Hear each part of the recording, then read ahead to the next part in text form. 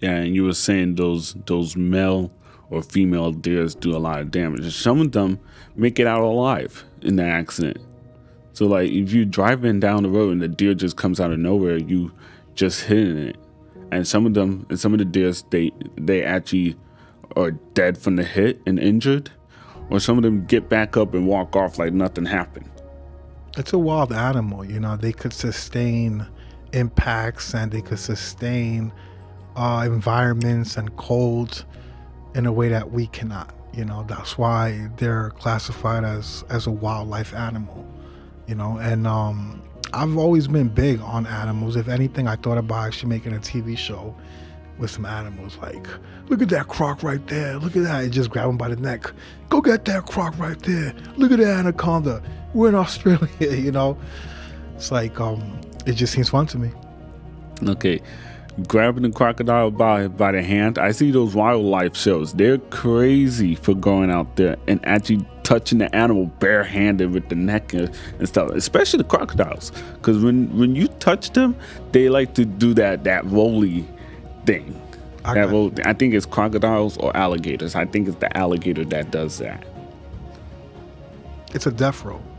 That's what they call it. Um, they do that to kind of snap the bone out of whatever type of creature they're trying to eat. So if they grab their arm, it's a death roll designed to twist that specific joint and bone out of place so they can snap it and eat it. And when somebody is grabbed by a crocodile or an alligator and they're human, and let's just say they're a trainer, but the crocodile snapped and the crocodile rolled, the safest thing is to hold the crocodile and roll with him until yeah, somebody can help you, you can find a way to get them off of you. But there, there are some wildlife people that who are by themselves with camera crews, and it's just them wrestling the alligator, and they have their hands on their neck, I mean, like on the back of their neck where their head is, and then they have their two legs wrapped on their back, and they're rolling with that that alligator. And I was like, they're crazy for doing all that.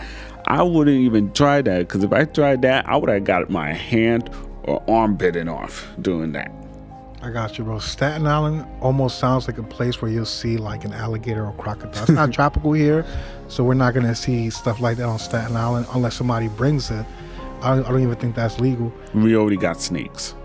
Um, I haven't really seen snakes on Staten Island. There is nah, I don't think so. But like, like anything happen on this island? There's probably like a worm that they call a snake. I, I haven't seen anything like that. I've been at the forest. We got jogging in Staten Island. I'm, I'm pretty sure we do got snakes because we got pet stores with snakes in it. I'm talking about like snakes in the natural environment and in the ecosystem of Staten Island. This is not Florida or Texas well, where you see it more down south. We probably do, but it's probably in an area that we don't probably go to. I believe snakes and animals like that survive better in tropical environments than they do in an environment that is like this. Even though crocodiles, I believe, do hibernate, alligators or crocodiles hibernate in the cold. They kind of stick their beak out of the water and they just go on, on an eternal sleep for that time. Because don't forget, even though we may not have snakes, but we do have water, and there are some snakes who can swim.